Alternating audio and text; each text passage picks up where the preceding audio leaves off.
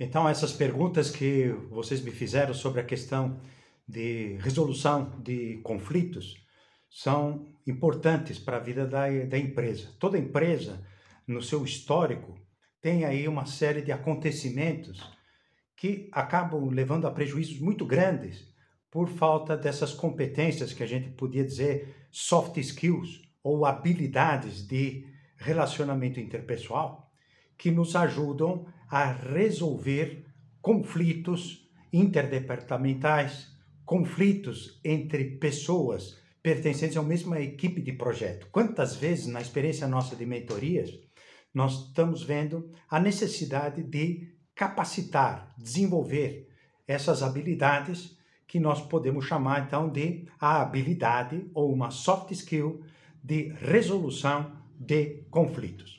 Nós vamos dividir a apresentação, essa experiência, eu quero trocar experiência com vocês, em quatro partes. Eu vou fazer em quatro segmentos. E agora, no primeiro segmento, eu queria mais mostrar um diagnóstico da minha experiência pessoal em mentorias e também o que as pesquisas têm mostrado quanto aos problemas que ocorrem e consequências nefastas para a vida das empresas no campo empresarial da falta dessa competência de resolução de conflitos. Então, quais são os prejuízos por deficiência destas habilidades em solução de conflitos no âmbito corporativo? Vamos trabalhar nessa primeira parte e nós vamos segmentar então em quatro pontos. Quais são os quatro pontos que eu já vou adiantando para vocês acompanharem esses segmentos? Então, nós vamos trabalhar nessa parte 1 as consequências, primeiro, mais graves que ocorrem no campo empresarial.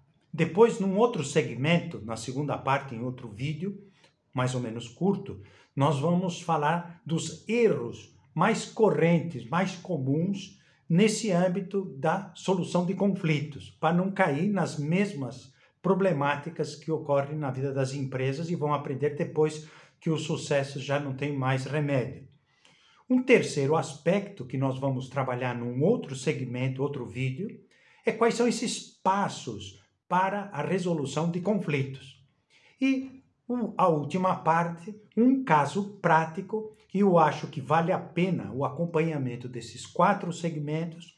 E o caso prático ele só faz sentido é, tendo absorvido, assimilado essas etapas anteriores que eu estou propondo para vocês assistirem.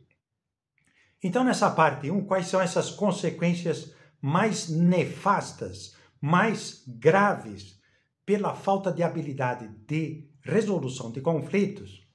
São as seguintes que nós podemos é, trabalhar. Vamos falar consequências imediatas para a vida da tua empresa, na vida da minha empresa, enfim, qualquer que seja a atividade, uma equipe ou uma, uma equipe de projeto ou uma coordenação de algum projeto. Primeiro, por falta de habilidade de resolução de conflitos, a primeira consequência direta e imediata na veia é a queda da produtividade. Primeira questão. O segundo aspecto que justifica o desenvolvimento dessa soft skill de resolução de problemas e, e resolução de conflitos é o problema do desenvolvimento de burnout entre pessoas da equipe, essa fadiga em relação ao trabalho. Terceiro aspecto que eu queria abordar, a incapacidade de atingir as metas propostas por parte de componentes da equipe ou de um determinado subordinado ou dirigente da instituição. E uma outra, entre tantas, a quarta, é, o quarta, é, quarto problema que a gente destaca é a experiência que se tem de um cliente ruim por uma falta de qualidade de negociação, que nós vamos aprofundar, gera impactos eh, graves dentro da organização. Outra consequência nefasta, a sobrecarga dos colaboradores. Um sexto aspecto, aumento de faltas e atrasos entre as pessoas. E por último, o sentimento de frustração é, e tensão na própria atividade profissional, ok? Então vamos aqui trabalhar cada um desses pontos. O primeiro deles, que nós já então citamos, é a queda da produtividade. Uma equipe menos produtiva acaba afetando diretamente os resultados eh, da empresa. Todos nós temos experiência disso. Se os conflitos não foram ou não forem resolvidos, a produtividade pode diminuir significativamente. Então, pensarmos nos clientes e pensarmos nos resultados financeiros, no impacto disso nos resultados financeiros da organização. Segundo ponto, de consequências sérias. O problema de desenvolvimento do burnout. É, esse burnout dos colaboradores não apenas prejudica a saúde mental eh, de cada um deles, mas também afeta a qualidade, o clima do trabalho e a capacidade de entrega das, das metas ou das atividades para o, a realização dos projetos ou das eh, decisões já tomadas. Passamos para o terceiro ponto, entre esses sete, a incapacidade por parte de pessoas da equipe de atingir as metas. Então, se os conflitos impedirem a cooperação, a colaboração, esse espírito colaborativo na, eh, na equipe, a empresa vai ter dificuldade em alcançar esses objetivos que são estratégicos. Quarto ponto, a experiência do cliente ruim.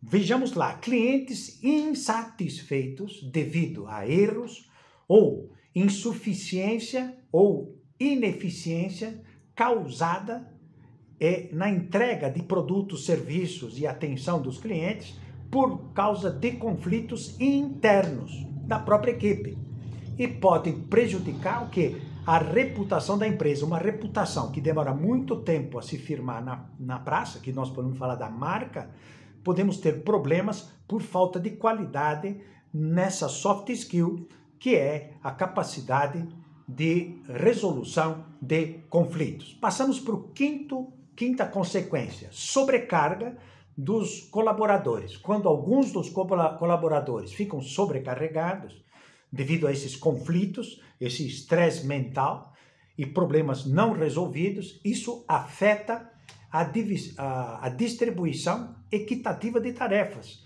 Sempre há uma dificuldade de é, atingir metas, objetivos compartilhados naquela equipe por causa dos conflitos. Sexto ponto aumento de faltas e atrasos. É, as faltas e os atrasos frequentes acabam prejudicando a continuidade das operações da organização e afetam a equipe como um todo.